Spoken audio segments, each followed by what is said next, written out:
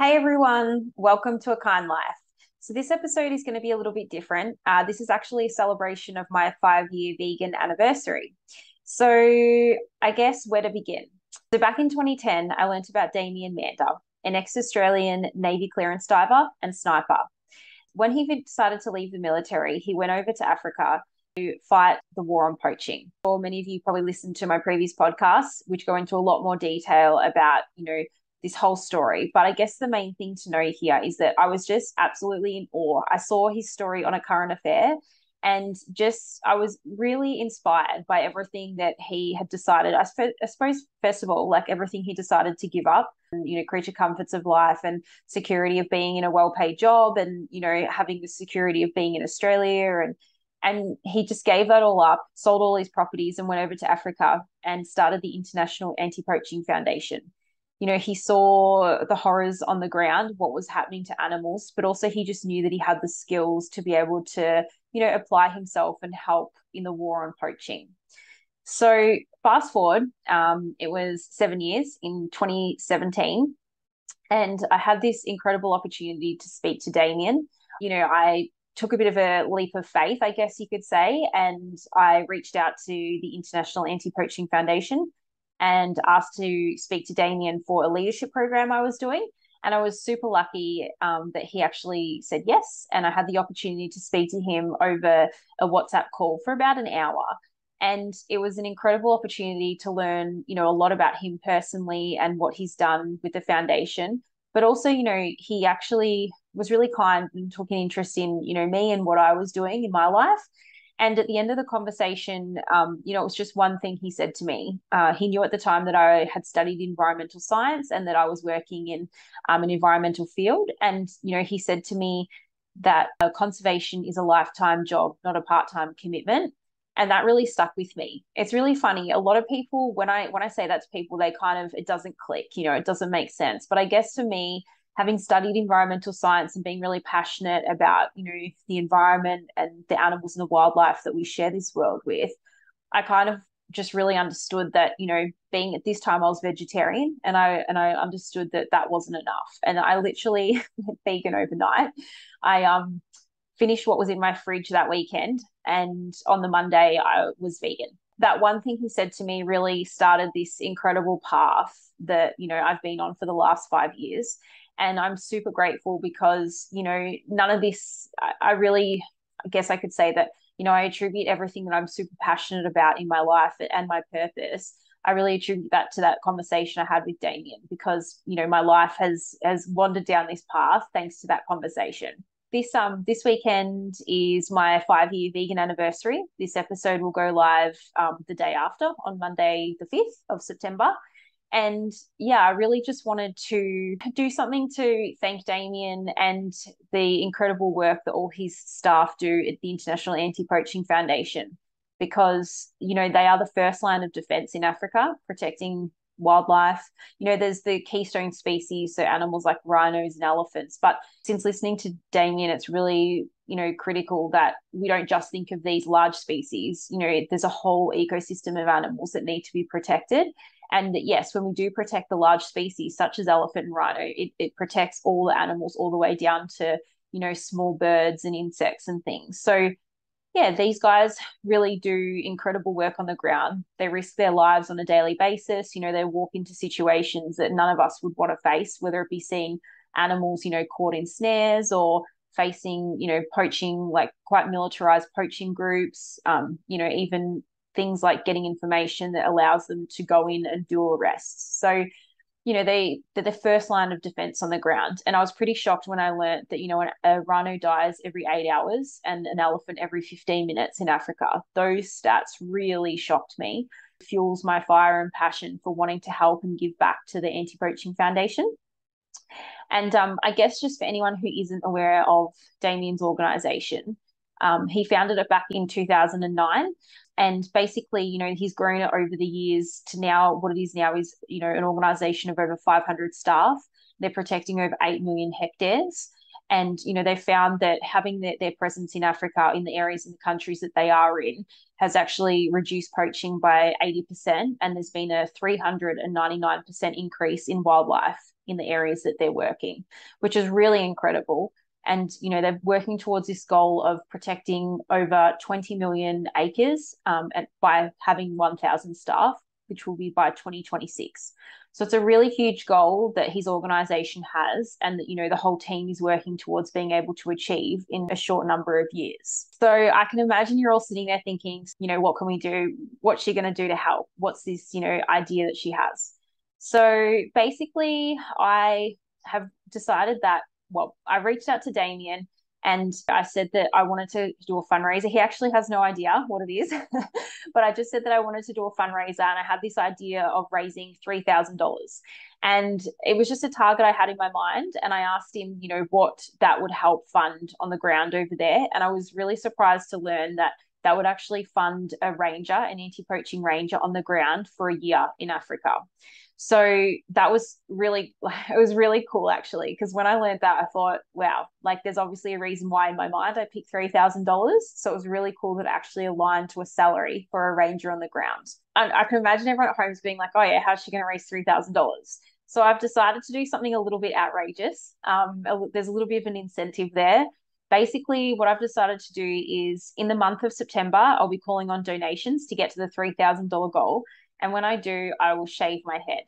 I know, pretty freaking crazy.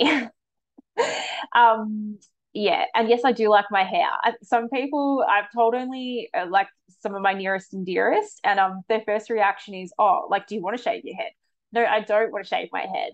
But the point is, is that you know what they do on the ground in Africa is just absolutely incredible, and they risk their lives on a daily basis. And for me, you know, I think like we are over here in Australia, where, you know, in our creature comforts, in warm houses, you know, driving cars, having food in a supermarket. And it's nothing compared to what these guys face on a daily basis. And in my mind, I just think, you know, yes, I need to do something a little bit outrageous that is going to encourage people to raise these funds. But also at the end of the day, like what's what's my hair to me? Like really, it's nothing. I, I honestly would give anything to help animals, whether it be farmed animals, wildlife um, companion animals. And so, really, you know, it is only hair. Um, it is a little bit scary. I'm not going to deny. Um, it's not as if I'm walking around thinking I don't care or I, am not worried about it because there's definitely this little inkling in the back of my mind thinking, oh God, like all the thoughts have come through my head.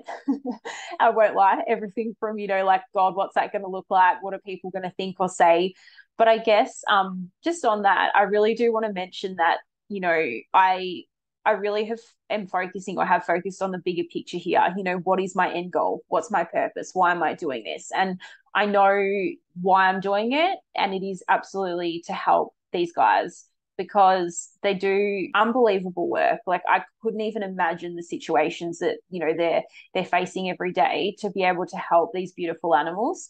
So yeah, I just I guess you know there's been yeah there's been some interesting things said to me or comments passed around about you know like me going to shave my head and and what like people are going to say or think. And yeah it is definitely uncomfortable but it is something that I would challenge people to you know think think outside the square and don't be concerned or afraid because we have to do these things. We have to move into like the space where we feel uncomfortable or we fear fear sometimes because it's the only way we grow so it is definitely going to be a challenge. I'm not going to lie and say that, you know, oh, I don't really care or I'm not worried about it because there is a little bit of me that is. But, you know, for me, I see the bigger picture and the bigger goal, and that is to help fund this ranger on the ground in Africa for a whole year.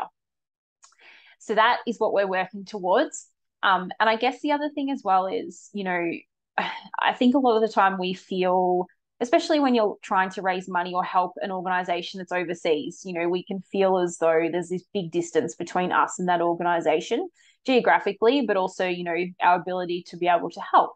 So i really yeah also wanted to do this so that people you know consider that we can always do something. Like even though we may not be able to physically help um, when there's a bit of a distance but you know, there's always things we can do, whether it be fundraising, whether it be depending on the, the situation, but it could even be social media marketing or offering to, you know, put together like a, um, yeah, like a fundraising event or uh, like a drive for certain things. It might be for products or it might be for like items that they need.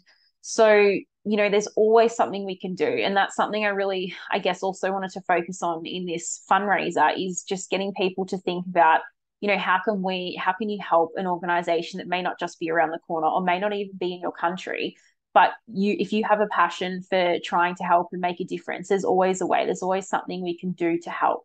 So yeah, that was a little bit of my um I suppose, drive for doing this as well. So I definitely challenge you to think about, you know, other ways that you can help organizations. So what's next?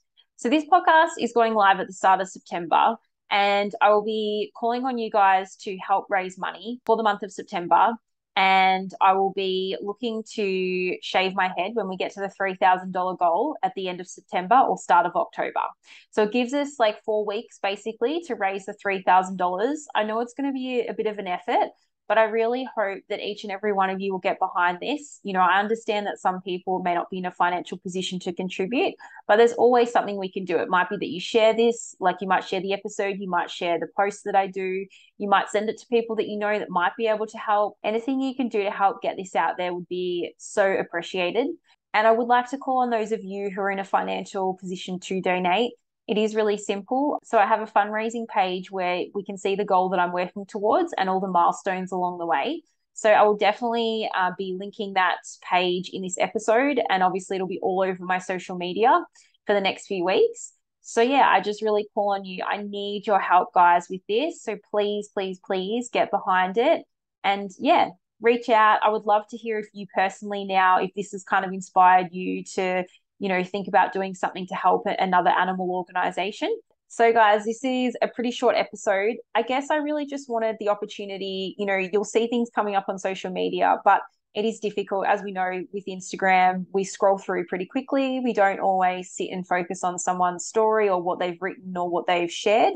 So, this was really a great opportunity for me to explain some of the background around why I'm doing this and how you guys can get involved.